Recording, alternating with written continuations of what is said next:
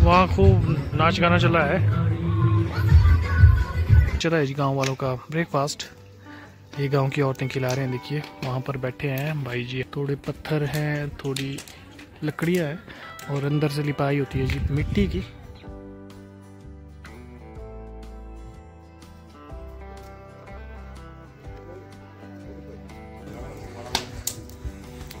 राडे लायक पानी रखा हुआ? दोस्तों, आज आए हैं हम लोग सजला गाँव में। यहाँ पर एक छोटी सी धाम है, शादी की धाम। वो नीचे वाले घर में शादी है आज। मतलब शादी तो हो गई है, लेकिन जो उसका रिसेप्शन होता है लड़की वालों की तरफ़ से, वो आज यहाँ पर है। और यहाँ पर हम तीन जने हैं, मैं, मितू और साहिल। और उसमें ये रही हमारी रसोई। अभी रसोई बनाने का प्रोसेस जो है, हमारा चला हुआ है।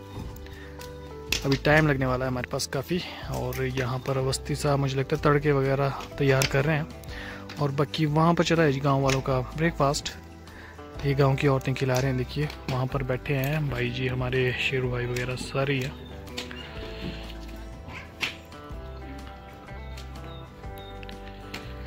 और ये हमारी रसोई के साथ है दोस्तों, देखिए जाइंट जाइंट बोलते हैं इसको। एक बहुत बड़ा घर है पुराना घर है, काठकोणी शैली का बना हुआ और काफ़ी तगड़ा वाला घर है दोस्तों ये। ऐसे घर होते थे जी देवी देवताओं के, मढ़ार जैसे टाइप का घर है ये। अब इसका पता नहीं है मुझे कि मढ़ार ही है या किसी का पर्सनल घर है।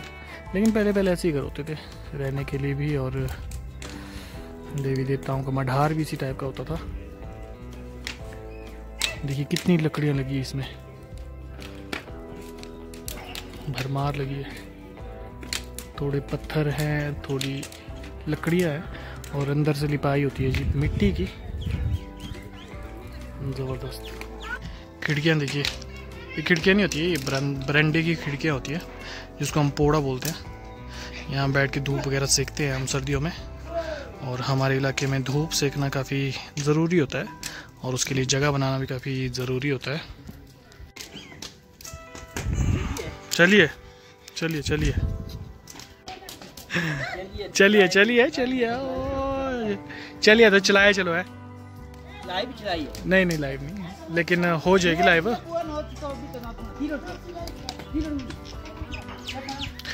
चटनी दो जी चटनी। तो ब्रेकफास्ट चला हुआ अभी ऊपर भी और नीचे भी। मेहमान आए होंगे नीचे उनके लिए।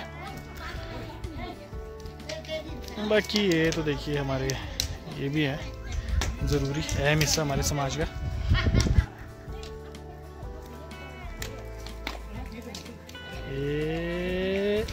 जीत दरोगा साहब हमारे, शेरू भाई। गाँव के लगभग हर कार्य में ये दरोगा होते हैं। बढ़िया जी। क्या तड़के तड़के। वाह अवस्थी चिकना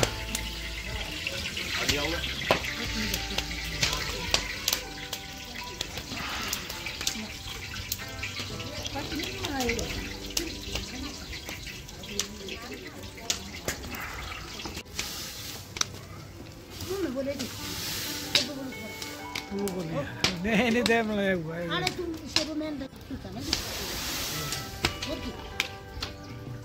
जी मित्तू ने कर दिया आज की रसोई तैयार हमारी। कर दिया ना हमने यार बिल्कुल जी। हाँ तैयार हो गई है। चलो फिर रोटी खाते हैं। पहुँचे थे। साढ़े ग्यारह बारह बजे को वाह इतनी जल्दी? चलो फिर कुछ खा लेते हैं।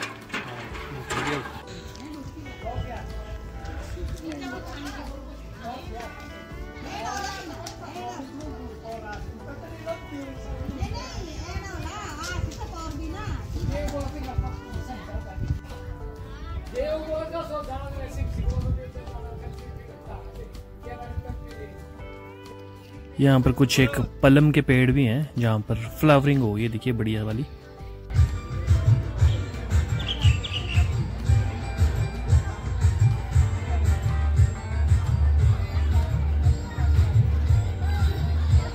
तो हमारी रसोई तैयार है दोस्तों।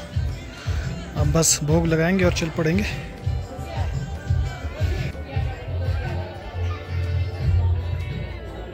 करवा रहे हैं जी हम लोग जखाउन, यानी पहली गेड़ बैठ चुकी है हमारी, और इस गेड़ में पता चलता है नमक, मिर्च।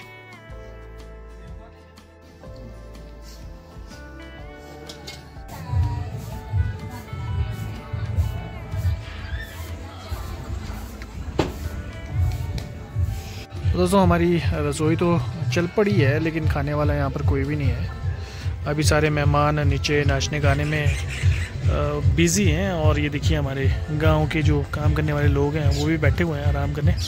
रेस्ट चला हुआ है सबका। बातें चलिए इधर उधर की। और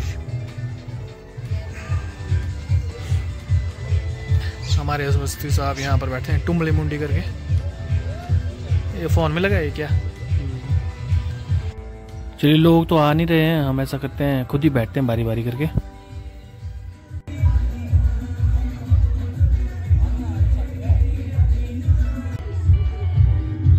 वहाँ खूब नाच गाना चला है।